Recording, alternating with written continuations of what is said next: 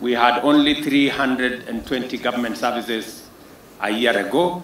Today we have 13,000, and we are well on course in making sure that by the end of this year or shortly thereafter, all government services will be available online. Already, um, the digital ID, which has been a big problem to us for a very long time, is now on a testing mode for the next two months.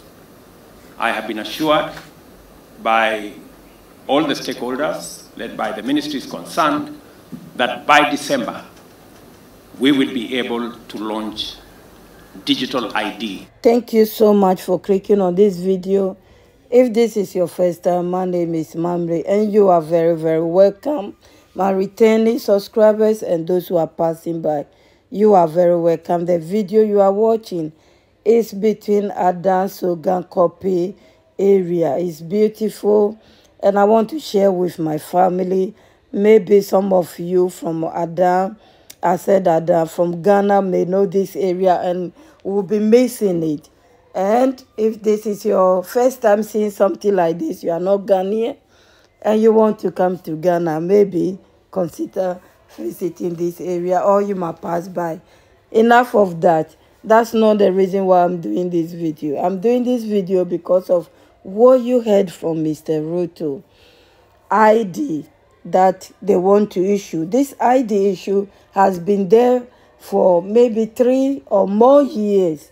They were going back and from, but Mr. Ruto want to nail it, finish it, and put it under his belt that, yes, he has done it, which is good. Every country need identification. It makes life very easy for us all. But Mr. Ruto is taking this identification ID to the next level, to the next level that is calling for concern.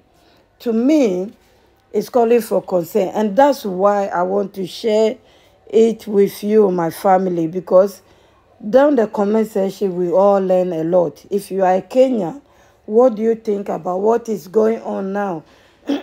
sorry, this is why I'm not doing video nowadays. I'm sorry. Yeah, what do you think about this identification? It is good, but during the uh, Climate Change Summit in Nairobi, Mr. Ruto invited Bill Gates on a, a Zoom, and he came, he spoke about two minutes. And at the back of my mind, I was asking myself, what is Bill Gates doing with climate change? Well, we know he has money. We know he wants to save the world. We know he wants to reduce population. And Africa per se, he says we are overpopulated. Even though our grandpa said we are not overpopulated. Uganda president said we are not overpopulated. We should give birth to more. Bill Gates and the rest, some of them has passed away now. You know them. They all said Africa is overpopulated and that's why we are poor and this and that. So he is saving Africa by injecting them so they will not be giving more birth and you know he will save Africa from poverty. So I thought, what is he doing there? Two minutes video, I didn't get anything serious to share. Fine. But then when I, I came across this video about the ID, and his name pop out. I said, no, let me share it. Maybe I'm getting crazy. Maybe I'm overthinking as I always do. Somebody should put me right. Is it right to be putting chips in babies as they are born as identification so that chip will follow them until they get a job and they marry and all? Is it good? But because in the UK, we get NI. When you are 16, they send you NI. My son receiving his NI not long ago, it means he can work. We get birth certificate, paper one, you pay for it, fine. But what Mr. Roto is explaining is you don't need to carry any paper or card with you. The chip is in your finger, you use fingerprint for everything. I said, no, this is too far. you need to crawl before you walk because you know we see it from the visa that's supposed to be visa free and some are complaining about it i'm coming to kenya but i'm not there yet so i can't say much about it those who are there are talking about it so if that is not right yet and if people are complaining about this identification as a parent as a mother i think i would think twice to let somebody chip my baby that hasn't even walk or crawl or even talk or eat yet. I think I would think twice to let somebody chip my baby, especially something that has never been done anywhere in the world before. If it has, I don't know. Please leave a comment. Let me know if it has been done anywhere. Do you know why when COVID-19 came, a lot of people were hesitating to go for the vaccine, it's because of the chip. Because people were going for it. Some people said they are too posh to hold a passport. So they want that chip in their finger. Everything is in it. So when they get to the airport, they just touch the screen and they pass. Fine, it's their own. But baby, who doesn't have right to say no or yes to chip a baby I think is something serious and dangerous because you don't know the effect in two, five years, ten years later. So this is what Mr. William Ruto is doing to Kenyans as as now because he said they have started the experiment two months ago. According to news, in February, which is this month, they are rolling it out. I don't know if you have yours already. Are they giving the chip or they are just giving the card? The card is fine, but chipping a whole Kenya, please, my people, think twice. Somebody says that um, it's individual choice. They can choose to do it or not. But then when the time comes and you find it difficult to access information, don't blame the government. It's a warning ahead of time that they are going to make it compulsory. Just like they did the COVID vaccine compulsory. If you know you will travel, you have to take it. But if you don't want to take it, then you have to know that you can't travel. At the beginning, that was what happened until it went down. So Kenya families, Kenya mothers and fathers, are you going to allow your babies to be cheap? Please let's listen to Mr. Ruto and I'll bring the main video why I'm doing this. Thank you so much for your time. I appreciate your time. The digital ID, which has been a big problem to us for a very long time, is now on a testing mode for the next two months.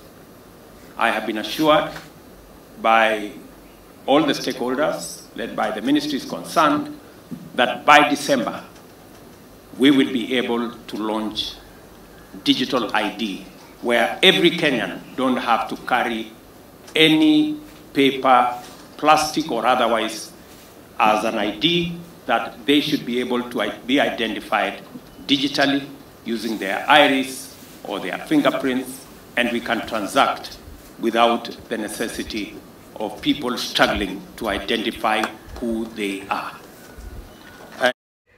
Yes, you heard that Kenya doesn't need uh, an ID, physical ID, to travel or to do anything. They can just do fingerprint and then everything is done. So they are going to implant them. I hope not. But some people are explaining it, what is really happening. Like I said, this lady said is going to they are going to put it into babies. So please, this is why I'm sharing this video. Let's listen to this lady, what she said about this particular ID that Mr. Ruto is talking about.